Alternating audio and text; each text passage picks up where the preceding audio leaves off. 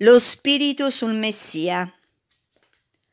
I profeti annunciano che lo Spirito scenderà e riposerà sul Messia e in lui farà rifulgere tutti i suoi doni.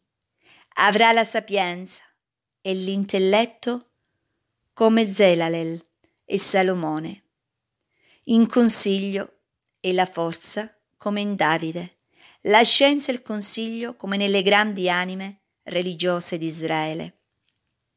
Isaia annuncia un germoglio spunterà dal tronco di Jesse, un virgulto germoglierà dalle sue radici. Su di lui si poserà lo spirito del Signore, spirito di sapienza e di intelligenza, spirito di consiglio e di fortezza, spirito di conoscenza e di timore del Signore. Lo spirito del Signore è su di me, perché il Signore mi ha consacrato con l'unzione. Mi ha mandato a portare il lieto annuncio ai poveri, a fasciare le piaghe dei cuori spezzati, a proclamare la libertà ai prigionieri, a promulgare l'anno di misericordia del Signore. Secondo il profeta Isaia, il Messia è l'eletto servo del Signore, sul quale si posa lo Spirito del Signore.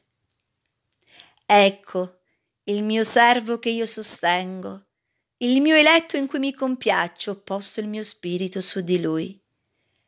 Si sa che il servo del Signore è rivelato come il servo sofferente, il Messia sofferente per i peccati del mondo.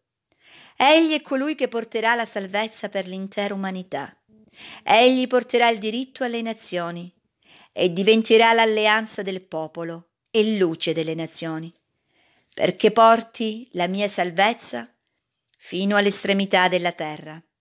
Il Messia avrà la pienezza dello Spirito in sé e al tempo stesso lo donerà agli altri.